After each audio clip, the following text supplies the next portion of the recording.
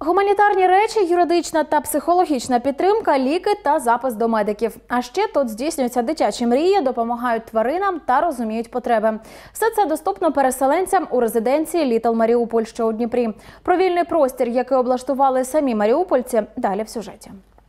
Літл Маріуполь з того часу, як запрацював у Дніпрі, встиг полюбитися і переселенцям, і дніпрянам. Тут на порозі закладу зустрічає пані Олена. Пропонує відвідувачам каву та смаколики. Вона разом з чоловіком приїхала до Дніпра з Маріуполя, бо в рідному місті війна забрала в родини все. Тут вони починають життя наново та допомагають таким, як і вони. У нас є така функція підвищена кава. Е, е, Кожна людина, яка бажає, може залишити е, кошти на будь-який десерт, е, морозиво чи каву. І ми потім можемо зробити цю каву, наприклад, тим же нашим переселенцям, либо військовозобов'язаним.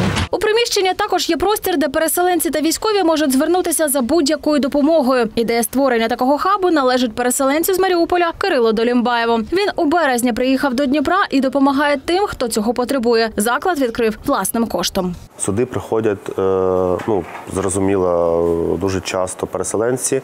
Ми спочатку з ними спілкуємося там за пляжанку кави, і щоб зрозуміти, яка проблематика в нього є, щоб ми змогли його якось перенаправити, перенаправити або сегментувати там до психолога, до юриста, або там в бібліотеку, або там буде достатньо тільки кави. Всі у лапках послуги надаються безкоштовно.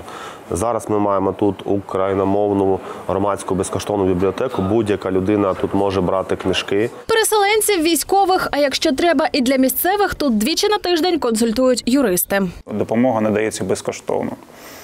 Е, Основні питання це постановка на облік ВПО, е, це е,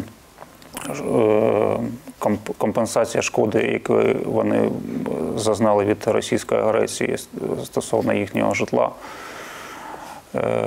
Це пенсійні вопроси, це вопроси трудових відносин. По понеділках працює і психологиня. Пані Аліса зазначає, хтось приходить, аби просто поговорити, а хтось за порадою, як подолати стрес та заспокоїтися. У її психологічній аптечці Це ж е, ті самі дихальні вправи, заспокійливі. Є елементарна дихальна вправа, яка називається квадратне дихання. Її також багато всі знають. Це елементарні ось такі масажні рухи. Все, от просто це можна робити де завгодно, на роботі, в транспорті. Ми масуємо собі просто долоні, тим самим е, м'язові ці зажими вони сходять.